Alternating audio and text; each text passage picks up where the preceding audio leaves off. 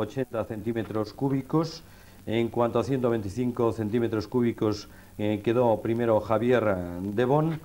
Y también decir que en 250 Luis Dantín quedó en primer puesto. Imágenes que les ofrecíamos de Calafat, un circuito del cual se ha hablado mucho y del cual parece que se está remodelando y ahora está un poco mejor, ¿no, Aspar?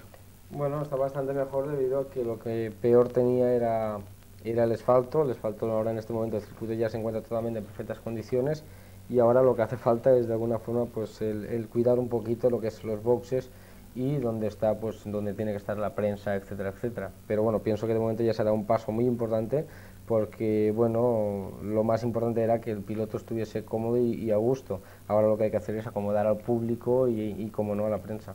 Ojalá tuviéramos un circuito como este, eh, presidente de Motocucuyera, pero luego hablaremos... Aunque sea como este. Como este. Pero luego hablaremos de ello porque ahora nos vamos rápidamente con nuestro habitual eh, collage en el cual les ofrecemos la actualidad deportiva de este fin de semana y retornamos rápidamente. Y a participar porque hoy están aquí nuestros invitados para que ustedes puedan participar, sean ustedes propiamente los que les dirijan las preguntas a ellos. Y vamos a hablar del Jarama, que es lo más importante, y vamos a hablar de ese circuito que vamos a tener en breve, esperemos, aquí en la Comunidad Valenciana, para que los pilotos, los muchos pilotos que tenemos, esa gran afición al motociclismo que existe en la Comunidad Valenciana, puedan disfrutar de un circuito propio aquí en la comunidad. Algo que se viene repitiendo hace muchos años y que parece ser que nunca llega. Sin embargo, el señor Gasco pues ya tiene noticias al respecto que nos gustaría que nos desgranara ya y luego nos vamos al Jarama.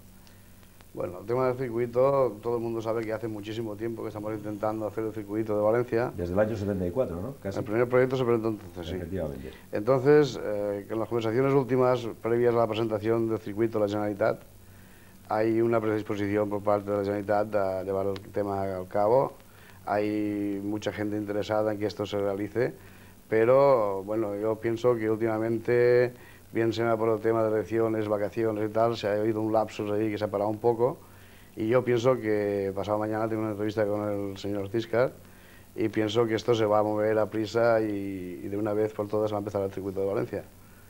Eh, condiciones tenemos, clima tenemos, pilotos tenemos, afición tenemos, tenemos todo, pero falta el circuito. Efectivamente, tenemos todo y nos falta el circuito. Incluso yo recuerdo, no hace mucho tiempo, haber visto una maqueta de circuito, señor Gascón. Sí, la, la maqueta del circuito se presentó primero este año eh, hubo muchos contactos, hay uh, algunas aceptaciones por, las dos partes, está la idea de querer hacer una empresa mixta que le va a cabo esto y bueno, falta de liberar ya ciertamente cómo se va a hacer lo de, lo de la empresa mixta en cuanto que va a participar cada parte, pero el, final y la edición del tema está clara. Bien, pues esperemos que sea cierto. A mí me gustaría que tanto Champi como Aspar dijeran algo al respecto, porque hace una cara un poco escéptica. No, bueno, yo por mi parte lo que tengo que decir que, que bueno, no cabe duda que lo que ha hecho Salvador es lo que es la pura realidad. Tenemos clima, tenemos pilotos, tenemos afición, tenemos todo lo necesario como para tener aquí, eh, vamos, un circuito como Dios manda y bueno, esperemos que, que de una vez por todas, a ver si es posible, ahora para final de año pues se hace se da ya por, por, primera vez, se pone la primera piedra y bueno, ojalá, porque además tenemos también a Adrián Campos, piloto de Fórmula 1, yo que sé, no sé, por, por, mi parte yo creo que es que tenemos todo lo necesario en Valencia y sin embargo el circuito no está y creo que es una parte muy importante, yo creo que la Generalitat por, por su parte está haciendo todo lo posible, pero de una vez por todas yo creo que tendría que ya que, que decirse sí al circuito.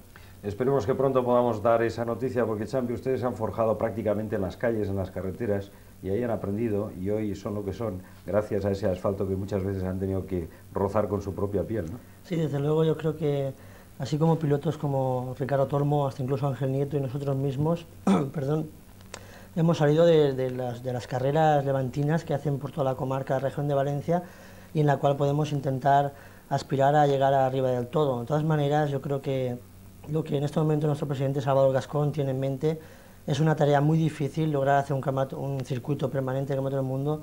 Vale muchísimos millones de pesetas y él, por supuesto, voluntad no le falta porque yo lo conozco también muchos años y está trabajando detrás de ello durante muchos años. Y esperemos que ahora eso, como acabamos de decir todos, que con la ayuda de, los pilotos, de la afición y del clima que tenemos, eh, esa piedra que hace falta la pongamos poner para que sea realidad. La pondremos y no ponemos en duda que el señor Gascón lo intenta y lucha desde hace ya bastante tiempo. Tenemos nuestra primera llamada telefónica y como ustedes son los principales eh, participantes, vamos a darles ya la oportunidad. Buenas tardes. Buenas tardes. Mira, soy un chico de Gandía, tengo 12 años. En primer lugar, querría felicitar a Jorge por ese campeonato mundial que ha conseguido y a Manuel por ese gran papel que ha hecho en el campeonato y por ese subcampeonato perdón, que tiene a la vuelta de la esquina. Bueno, mi pregunta para Spar es la siguiente. Por tu parte, ¿qué entrenamiento desarrollas y qué alimentación y preparación utilizas? Bueno, primero que nada, darte las gracias. Y bueno, en cuanto a preparación, lo que hago es durante la temporada, pues debido a que está el riesgo de que no puedo hacer motocross, etcétera, etcétera, pues lo que hago es entrenar en el gimnasio lo máximo que puedo.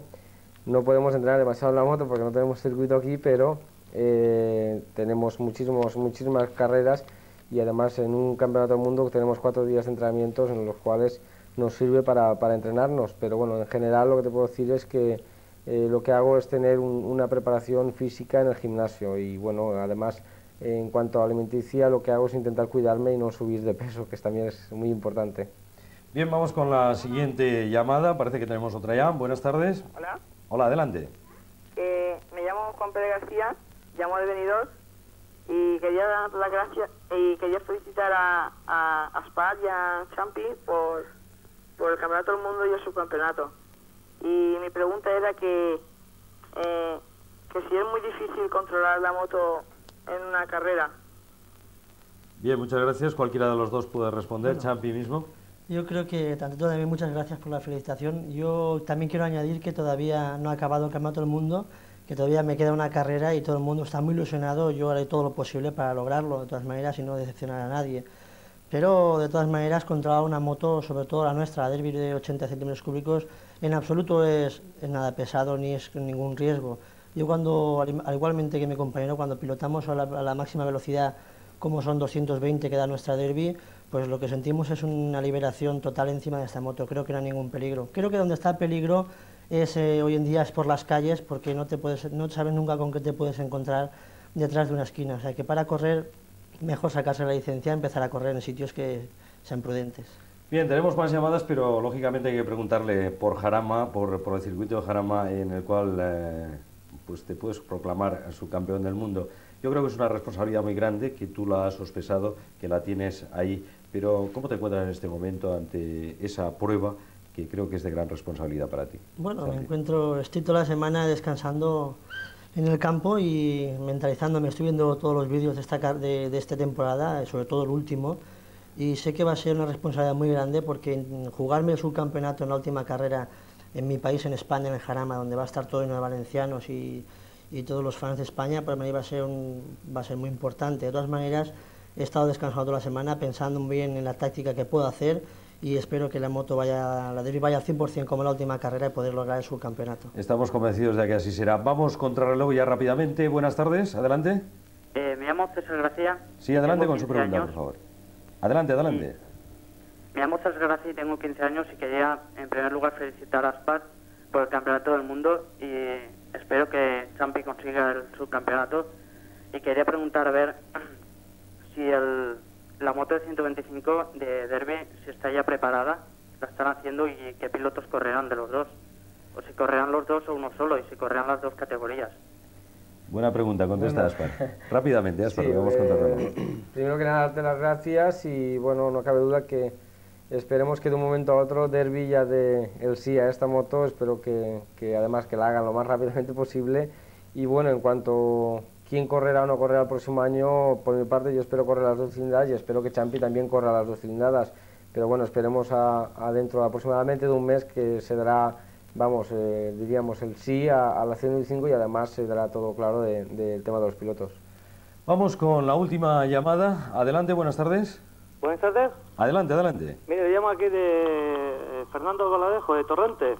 Adelante con su pregunta. Quería hacerle una pregunta a Champi, que me imagino que me conoce. Sí, sí, sí, sí, te conozco. Vale, vale. Oye, esto quería felicitarte por la carrera del domingo, por lo cual has demostrado algo que no hacía falta, pero que ahí está. Y, quería preguntarte a ti y a Spar también, eh, ¿cuál va a ser la táctica del domingo en el Jarama? Puesto que me parece que solamente colocando un poquito de derbis en medio, probablemente pueda ser ya subcampeón. Pero en fin, esto todo depende conforme te salga la máquina y, por supuesto, la ayuda que no, en fin, no cabe duda te van a prestar todos. Bueno, mm, también gracias. De todas maneras, como acabas de decir, las órdenes de equipo para el domingo, las tácticas que se va a emplear, todavía está un poco lejos porque las tácticas solemos, Derby suele aplicarlas en el viernes por la tarde o sábado al mediodía con todos los pilotos que van a participar. De todas maneras, todavía no tenemos muy clara la táctica del equipo Derby y yo creo que esperando al sábado es cuando lo, podremos saber perfectamente. De todas maneras, yo simplemente controlando a mis dos rivales que son Dolphinger y Weibel, el más peligroso, puedo estar ya en el segundo lugar.